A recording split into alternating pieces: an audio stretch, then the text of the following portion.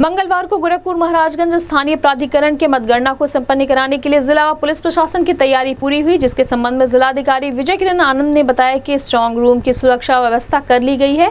Counting hall counting agency की व्यवस्था प्रेक्षक के सहयोग से पूरी व्यवस्था कर दी गई है। वीडियोग्राफी पैरामिलिट्री तथा सभी प्रकार की व्यवस्था पूरी कर ली गई है। मंगलवार को सुचारू रूप से काउंटिंग की प्रक्रिया आयोग के निर्देश पर पूर्ण किया जाएगा।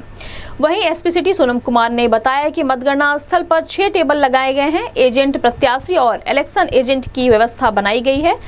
गाड़ियों की पार्किंग की व्यवस्था बनाई गई है और बिना पास के कोई भी व्यक्ति मतगणना स्थल पर नहीं जाने दिया जाएगा। इस संबंध में गोरखपुर न्यूज़ से बात करते हुए एसपी सिटी सोनम कुमार एवं जिलाधिकारी विजय किरण आनंद ने कहा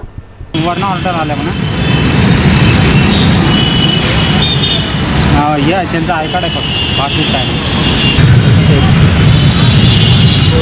एक घंटे में मिल जाए तो ठीक है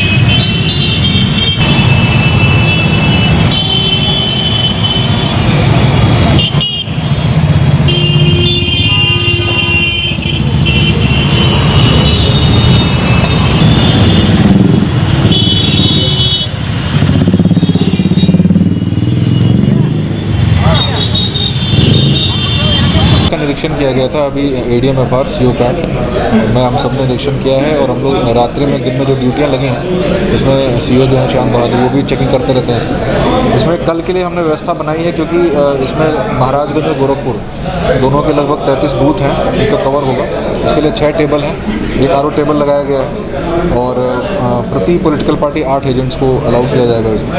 इसमें काउंटिंग पर्सनल जो हैं और उसके अतिरिक्त एजेंट, प्रत्याशी और इलेक्शन एजेंट इन सब की व्यवस्था बनाई गई है।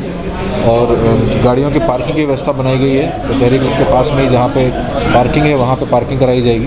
और बिना पास करके बिना पास से कोई भी अंदर अलाउ नहीं किया जाएगा। और पार्किंग के अतिरिक्त बाकी जो ड्यूटियाँ हैं उसमें एस की फोर्स भी लगी है। ज़िले से भी हम लोग inner cordon outer cordon isolation cordon की ड्यूटियाँ लगा रहे हैं। इस संबंध में आज पाँच बजे कप्तान साहब द्वारा ब्रीफिंग भी की जाएगी। और ये इन सारी बातों का ध्यान रखा जाएगा और कल काउंटिंग को शकोशक निपटाया जाएगा हम, तै- हमारा पहले से उसमें सुरक्षा व्यवस्था कर दी गई है काउंटिंग हॉल काउंटिंग एजेंट्स के लिए व्यवस्था। हमारे काउंटिंग पर्सनल के लिए प्रशिक्षण किया गया है। आज तीसरा प्रशिक्षण पूर्ण हो रहा है। प्रेक्षक महोदय के साथ समन्वय से पूरी व्यवस्था कर दी गई है। वीडियोग्राफी की व्यवस्था सेंट्रल पैरा मिलिट्री फोर्स की तैनाती हर तरह की व्यवस्था हम लोगों ने पूर्ण कर दी गई है।